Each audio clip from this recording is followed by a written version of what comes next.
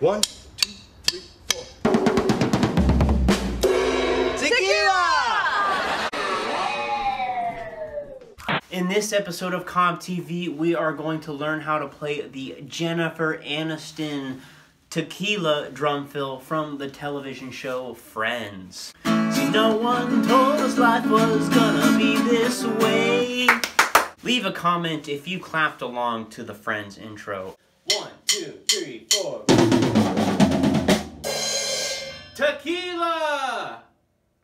On the first measure, we are counting off at a tempo of about 140 BPM. We're going to count out loud while clicking our sticks. One, two, three, four.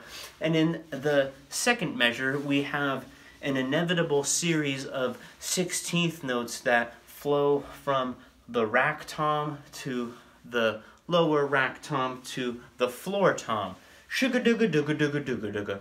One and a two and a three and a. And then on beat four, we're gonna land on the snare drum. We actually have to cross over our right hand over to the snare to play that note. And then we're gonna crash on beat one of the final measure, but we are not going to play a kick drum with that crash cymbal. As most drummers, we instinctually or by teaching have been told to play a kick drum with the crash cymbal. Not in this case, we're just going to play the crash cymbal by itself, but we're going to catch it, we're going to mute the crash cymbal, and then we're going to shout tequila on the end of beat two. One,